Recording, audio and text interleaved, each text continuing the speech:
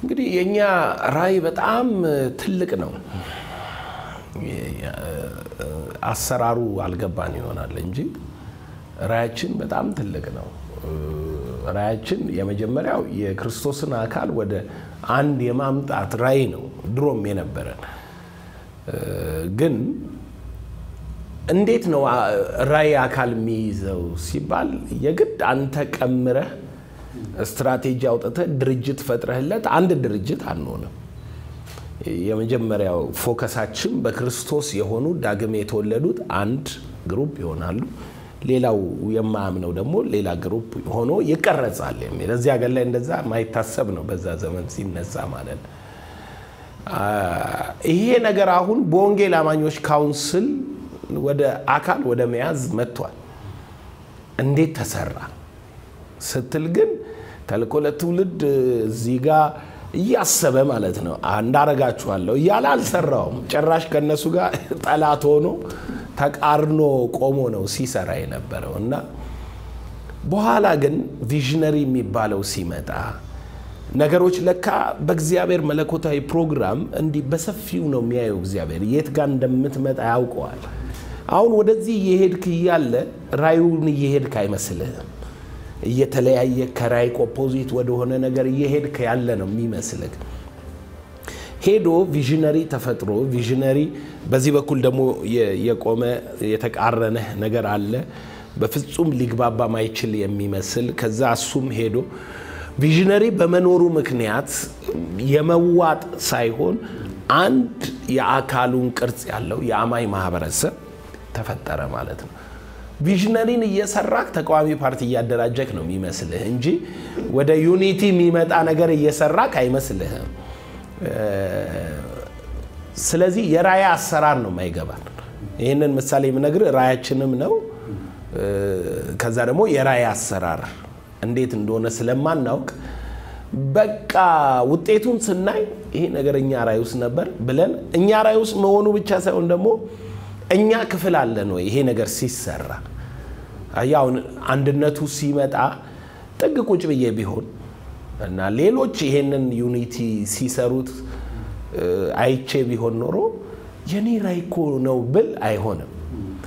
ሀሳብክ ካለ commitment ህ ካለ ዋጋ የምትከፍለው ነገር ካለ አሁንም ሰዎች ሁሉ የሚመሰክሩለት የወንጌል አማኙን የማስተሳሰር ኃላፊነትና committed ሆነ የምትሰራበት ነገር ካለ ራዕይህ ስለሆነ ነው፣ አንተ ውስጥ ስላለ ነው እግዚአብሔር እድሉን ራሱ የሚሰጥ።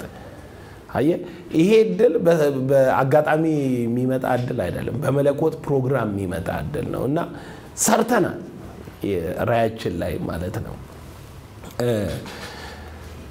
አንዳንዱ ራያችን ደግሞ ትምህርት ቤት የመክፈት ራዕይ አለን። ኮሌጅ አሁን የራሳችን Bible college አለን። ግን እዛ ጋር የሚቆም አይደለም። secular ዩኒቨርሲቲ የመክፈት ፕሮግራም አለን።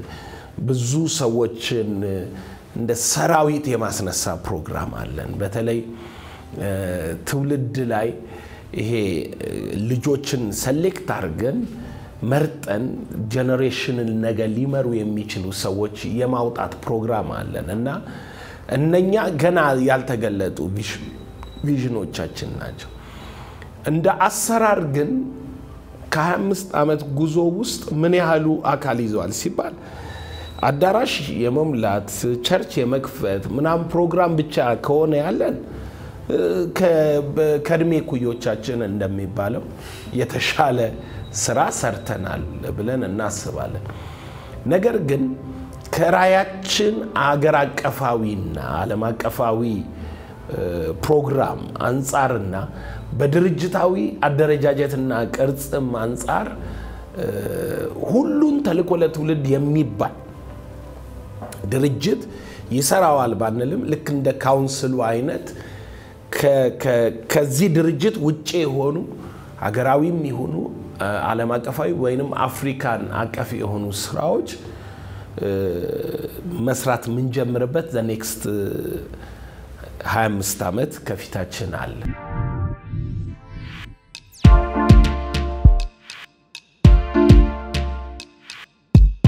ነገር መሰረት አለው። መሰረት ላይ ማስተካከል ያለብህን መሰረት ላይ ታስተካክላለህ። አንድ ነገር ደግሞ ሰዎች በህይወታቸው ላይ በደረሱበት level እየሰፉ እያደጉ እንዲሄዱ የምትሰራቸው አቅጣጫዎች አሉ። እኛ ገና እንደተነሳን basic አድርገን foundation ኑን ጥለነዋል። አሁን ሰዎች አንደርስታንድ የማያደርጉት በክፍል በክፍል የተከፋፈለ ነው ትምህርታችን። አንደኛ ክፍል የሚባላለን፣ ሁለተኛ ክፍል፣ አሁን ሶስተኛ ክፍል ላይ ነው ያለ ነው። እስከ አምስተኛ ክፍል የሚቀጥል ትምህርት ነው እና አሁን አንደኛ ክፍል እየተማርን የነበረውን በእንትን በፋውንዴሽን የምንለውም ማለት ነው እየተማርን የነበረውን ነገር አሁን መተን ወርደን ስለ ፍጥረት ስለ ምናምን ስለ ይሄ መሰረታዊ የሆነ የመስቀል ጉዳይ አንደበት ጽድቅ እንዲህ ነው። ትምህርቱ እኮ already church ውስጥ አለ፣ ኮሌጃችን ውስጥ አለ፣ ያው ትምህርት ማለት ነው። እነሱ አሁን ይሄንኑ doctrine ይሄንን አንደኛ ክፍል ያለውን doctrine እየቆምኩኝ የቃሉ ፍቺ በዕብራይስጥ የግሪክ ቃሉ እንትን ይላል ምናምን የምል ከሆነ አንደኛ አትለቅም፣ እዛው stuck ትቀራለህ። ሁለተኛ ሰዎች አይወጡልህ። በጣም ብዙ ደክመን እኮ ብዙ ሰው ያልወጣው doctrinal ስለሆነ ነው። foundational ነገር ላይ ነው። ሰውየው ቋሚ ተማሪ ነው የሚሆነው ስላየሁት ማለት ነው በመንገድ ላይ ነገር ግን ያንን ለሌሎች እየለቀክ መሰረታዊውን ትምህርት እየለቀክላቸው አንተ ደግሞ ወደ ሁለተኛ ክፍል መጥተህ ሁለተኛ ክፍል ላይ አይምሯቸውን ሊከፍት ሊያሳይ አሁን የነገር ትርጉም እየነገርከው አይደለም። መጀመሪያ የነገር ትርጉም ነው የምንነግረው። ሰማይ ማለት እንዲህ፣ ዛፉ ማለት እንዲህ፣ እባቡ እንዲህ ነው እያልክ ነው የምተረጉም። አሁን ደግሞ ሰውየውን ወደ ራሱ ህይወት ወደ መለየት አስተሳሰቡን ወደሚያሳድግ ነገር ሁለተኛ ክፍል ላይ ደርሰን break the Babylon ብለህ የባቢሎን thought ኦችን የሚያወጡ serious የሆኑ ጉዳዮችን እናወራለን ማለት ነው። ሶስተኛ ክፍል ስንገባ is life በቃ እረፍት ነው የሚለው። ሶስተኛ ክፍል ወደ ህይወት ረፍት ለመግባት ነው የሚለው እና እነኛ wisdom ኦች እዛ ገና ስንጀምር በነበረው ልክ እየተተረጎመላቸው የሚሄድ አይደለም። እሱን መተርጎም ያለባቸው ልጆች አሉ። ኮሌጅ አለ፣ ምን አለ፣ እዛ ይተረጉማል። እዚህ ጋር አይምሯቸውን ለመለወጥ በአስተሳሰብ ይሄ በሁለተኛ ክፍል በነበረው renewal የ mind setup ላይ የሚሰሩ ጉዳዮች እነሱም በየቸርቹ በሚሰጡ ኮርሶች ምናምን ላይ ተቀምጠዋል። አሁን ያለንበት ሰዎችን እንዴት ወደ እረፍትና ወደ ተሻለ የህይወት ልምምድ እናስገባቸዋለን የሚለው ስለሆነ ነው። ይሄንንና ይሄንን ማመሳሰል ከባድ ነው። ይሄ በጣም deep ነው። አንደኛ ክፍል ነው ስንል ሰው አንደኛ ክፍል ማለት elementary ይመስለዋል፣ ግን አይደለም። አንደኛ ክፍል ማለት የህንፃው foundation ማለት ነው። ወደ ታች እየተቆፈረ ድንጋዩ እየተፈለጠ ምን እያለ ሁሉ ነገር ቅርጹን እንዲይዝ ተደርጎ መሰረቱ ላይ ነው የሚያልቀው። ስለዚህ ከአልፋ እስከ ኦሜጋ የሚባል ትምህርት የነበረ ነው። ሙሉን ቅርጽ ነው የሚማሩት ከአልፋ እስከ ኦሜጋ ያለውን ማለት ነው። አንዳንድ ሰው አሁን ባለፍንበት መንገድ አስቦ ትምህርቱን ቀይሮ ይሆን ይላል። ሀሳቡ እንደዚህ ሆን አይደለም። ራዕይ የሚያድግ ነገር ነው። እኛ ደግሞ አምስቱንም ክፍል አይተን እስከ ጥግ አይተን ነው የጀመርነው። ስለዚህ አሁን ገና ሶስተኛ ክፍል እየገባን ያለ ነው። ስለዚህ ህይወታችን ላይ ትልቁን ትራንስፎርሜሽናል የረፍት የሆነውን የለውጥ አጀንዳ የሆነውን ኔሽኑን ሚነካውን እናደርጋለን። ይሄ ለደቀ መዛሙርት የምታስተምረው ለሰራተኛ የምታስተምረውና ለፐብሊኩ የምታስተምረው ይለያያል። ኢየሱስም ያንኑ ሲያደርግ ነበረ።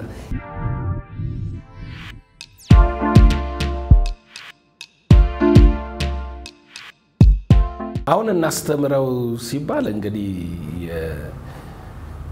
ሌሎች ማስተማር የሚችሉባቸውን እድሎች መፍጠር፣ የአሰልጣኞች ስልጠና መስጠት፣ ከመሰረት ጀምሮ የተልእኮ ለትውልድን እንትኖች እየተከተሉ መስራት ጥሩ ነው፣ መጥፎ አይደለም። ግን ቅድም እንዳልኩክ የጊዜው መንፈስ ተከትሎ መሄድ አማራጭ የሌለው ጉዳይ ነው።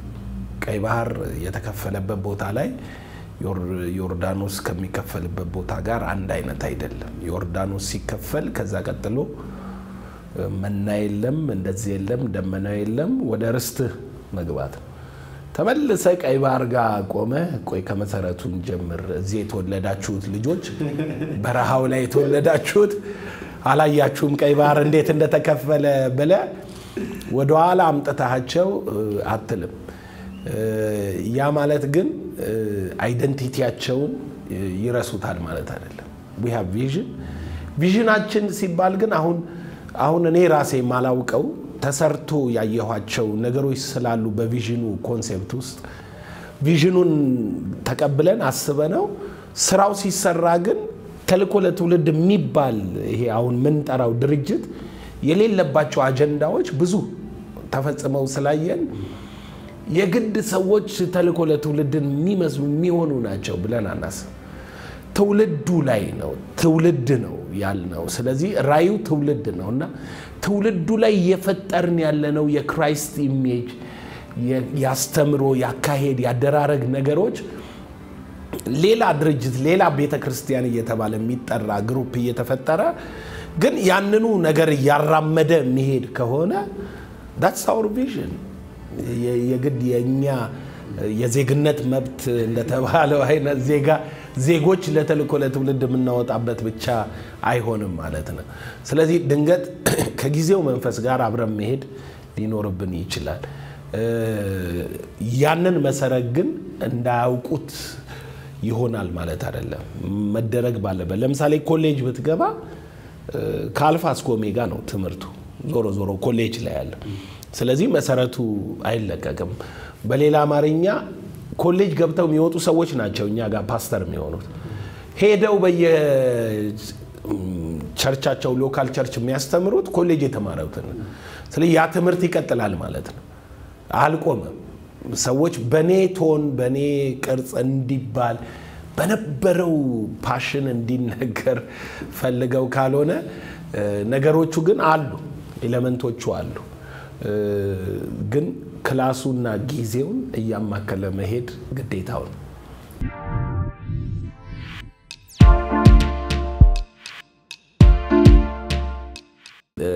golden beginning የምንለው ወርቃማ ዘመናችን ወርቃማ ጅማሬያችን የሚመጣበት ነው።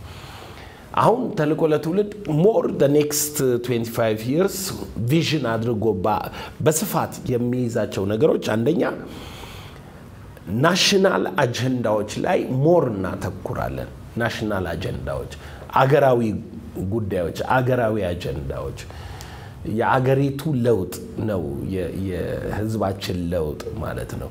ስለዚህ እሱን ለመስራት ደግሞ አካሉን የክርስቶስን አካል የወንጌል አማኝ ማህበረሰቡን በሰባቱ ፒለሮች አጠንክሮ እንዲሰራ እናደራጀዋለን።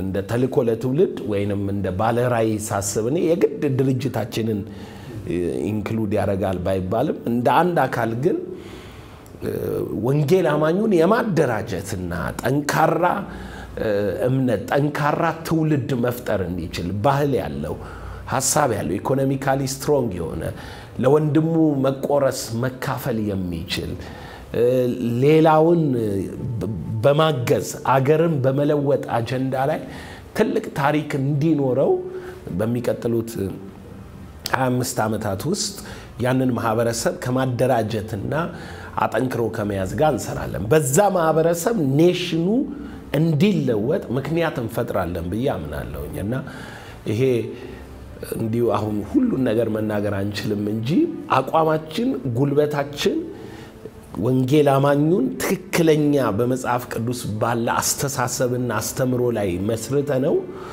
ለአገር ለወገኑ መቆረስ የሚችል የህይወት ጉልበት ከፈጠርንለት በኋላ በስራው፣ በፕሮፌሽኑ፣ በኢንቴግሪቲው፣ በሞራሉ የተጠበቀ ትውልድ አገር ላይ ተጽዕኖ እንዲያመጣ መፍጠር ነው። በዛ ውስጥ የመጀመሪያ አቋማችን የአፍሪካን ይሄ አፍሪካ በራሱ የቆመ nation እንዲሆን በወንጌል አቅጣጫ እንሰራለን። ምክንያቱም የምዕራባውያኑ ተጽዕኖ አፍሪካ ላይ ብዙ ነው። አፍሪካ ደግሞ የራሱ tradition religious የሆነው ይሄ cult ያለበት የጥንቆላና የሟርት ጋር የተያያዘ ባህላዊ ሃይማኖት ጋር የተደበላለቀ መልክ ነው አፍሪካ እያመጣ ያለው። ስለዚህ አሁን right gospel ምንድን ነው? እውነተኛው ወንጌል። በዛ እውነተኛ ወንጌል አፍሪካ ከምዕራባውያንም ከማንኛውም እንትን ወጥቶ በራሱ የቆመ የአፍሪካ የወንጌል መረዳትና እምነት ውስጥ እንዲገባ እንሰራለን። ይሄንን አሁን ሰዎች ሲሰሙ ግራ ሊገባቸው ይችላል። ምን ሊፈጥሩ ነው? አሁን ኢትዮጵያ ላይ የምንፈጥረው የወንጌል አማኝ ማህበረሰብ እንዳለ ሁሉ አፍሪካም በ original ወንጌል thought መያዝ አለበት። Jesus the Christ የሚለው concept ከሃይማኖት የዘለለ መሲሁ ምን ማለት እንደሆነ understand የሚያደርግ ትውልድና ሀገር ይሄ የ colonize problem church ም ውስጥ አለ። church በዚህ በነጮቹ ተጽዕኖ አንዱ መንገዷ የነበረው ይሄ ነው። ከፍተኛ ተጽዕኖ ነበረባት። ምዕራባውያን የሰጡን የወንጌል type አይነቱ ክርስቶስን እንደ ብቸኛና አንድ የዓለም መንገድ ልክ አይሁድ እንደሚያምነው የመሲሁን መንገድ ያለ type አይደለም። ፖለቲካቸውን፣ ባህላቸውን፣ ሃይማኖታዊ colonize mind setup ኣቸውን ከነ ጥገኝነት አስተሳሰብ የኢኮኖሚ አስተሳሰብ ይዘውብን ነው የመጡት። ልክ በፖለቲካው colonize ነፃ ሲወጡ በእጅ አዙር እንደሚገዟቸው colonize በእጅ አዙር አገር እንደሚገዛ የምታውቀው በምንድን ነው?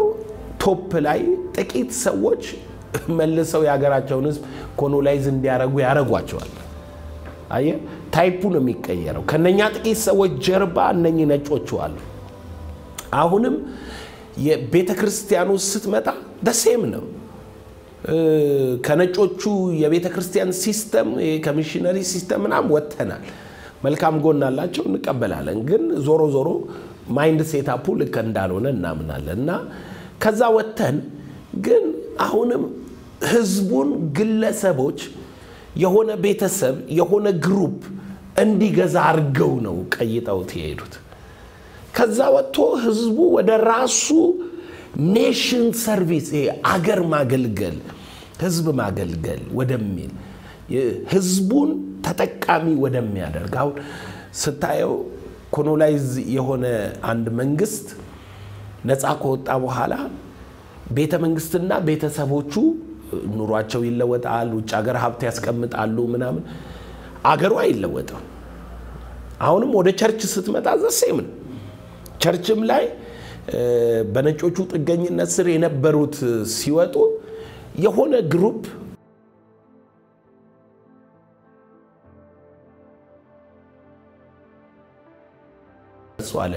ህዝቡን ነው መለወጥ ያለብን የሚል vision ም understanding ም የለም። ስለዚህ አሁን still colonize እየሆንን ነው ማለት ነው።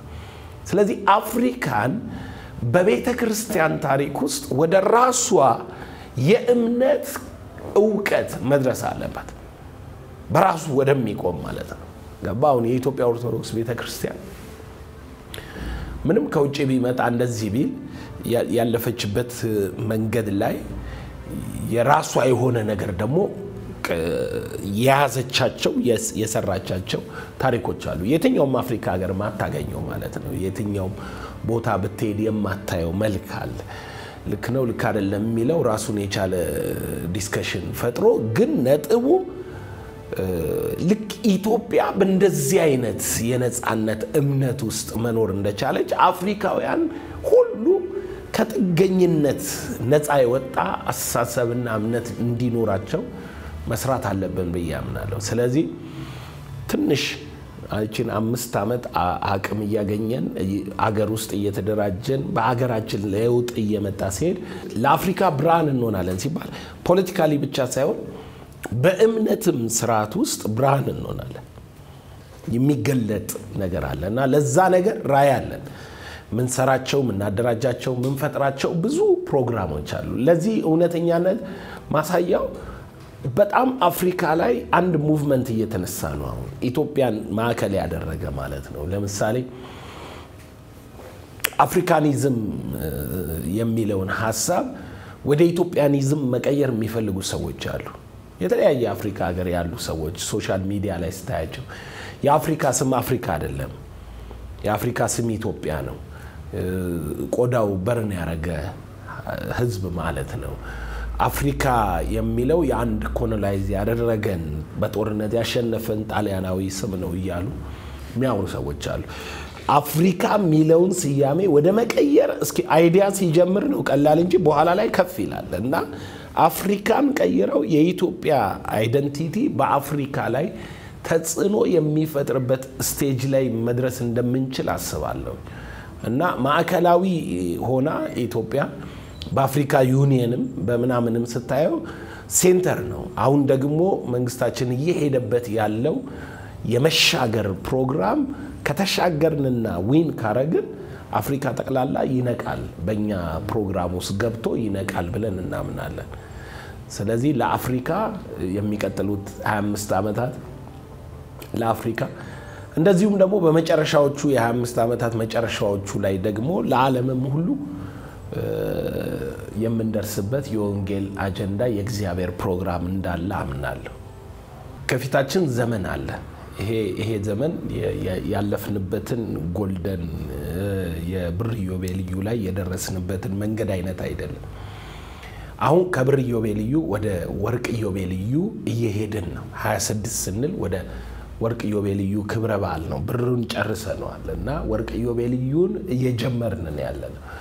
ስለዚህ golden beginning የምንለው የመጀመሪያው መነሻ ሀሳባችን እሱ ነው። የገባንበት መንገድ አሁን ያለው golden ነው። ይሄ ደግሞ ለእኛ ብቻ አይደለም፣ for all nation እኛም ብቻ አይደለም፣ አፍሪካንም ጨምሮ የአፍሪካ golden season golden generation next 25 years 30 years የሚመጣ ህዝብ ነው። ይገርማል። spirit ነው ነገሮችን የሚቀይረው እና አሁን ኢትዮጵያ ላይ የሆነ ያለው ነገር ለሰዎች ግራ ይመስላቸዋል። አሁን እየተዋጋን ስለሆነ በጦርነት የምንቀጥል የሚመስለው ሰው አለ። አይደለም፣ እንደሱ አንቀጥልም። ማለቅ ያለበት ነገር የሆነ ቦታ ያልቃል። መጀመር ያለበት ነገር የሆነ ቦታ ይጀምራል።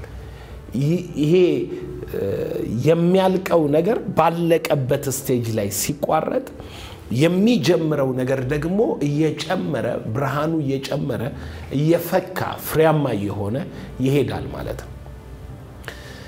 golden generation የሚባለው ወርቃማ ትውልድ ነበር። ያ ትውልድ የሚባለው ለምሳሌ በሙዚቃ ውስጥ የነ ጥላሁን ገሰሰን ስታየው ጥላሁን ገሰሰ፣ አለማየሁ እሸቴ፣ ማሙድ አህመድ፣ ሂሩት በቀለ፣ ሙሉቀን መለሰ፣ ብዙነሽ በቀለ ምናምን እያልክ አንድ ዘመን ላይ የነበሩ በቃ በሙዚቃው ዓለም ላይ serious የሆነ የትውልድ አይነት tone የነበራቸው ዝም ብሎ እንዲህ ብድግ እያለ generation ምትለው የሆነ ትውልድ ነው ምትለዋል።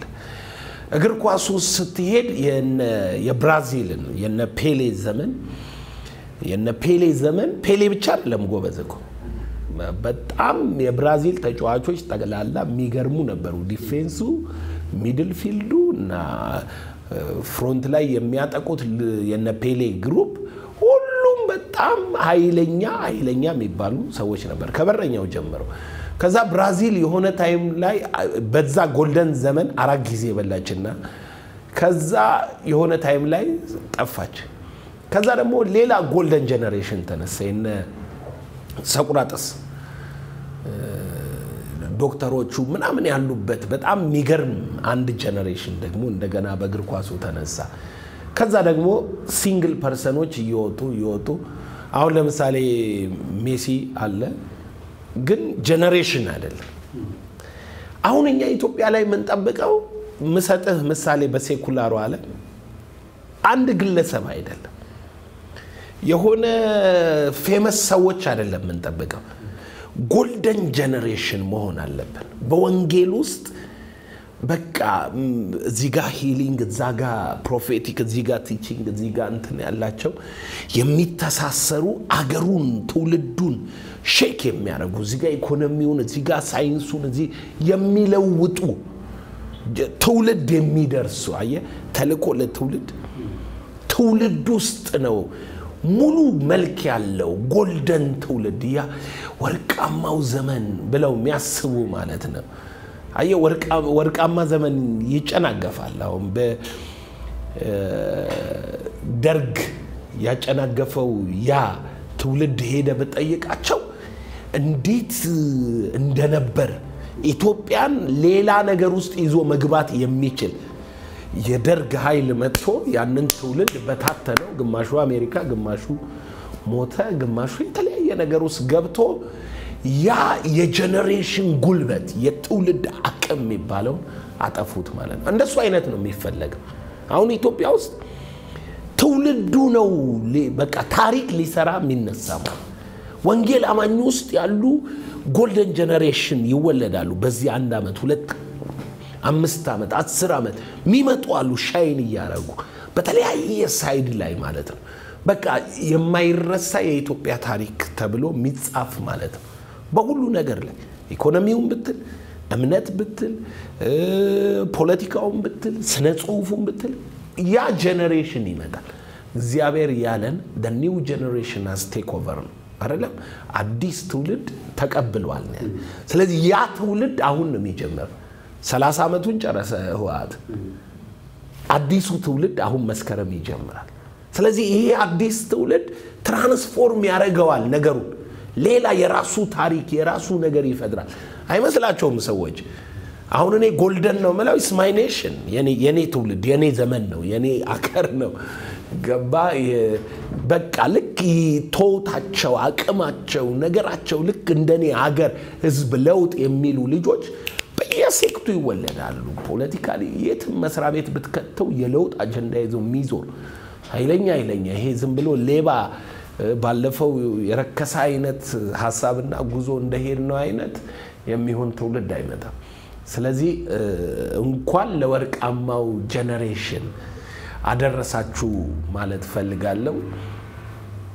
እስካሁን የመጣንበትን መንገድ ነግረናችኋል። ወርቃማው ትውልድ ውስጥ ደግሞ መገኘት ከፈለጋችሁ ራሳችሁን ከታሪክ ሰሪዎች ጋር አስተካክሉ። ታሪክ ትሰራላችሁ። መኖራችሁ የሚታሰብበት አዲስ ዘመን ለእናንተ መጥተዋል። ሻሎም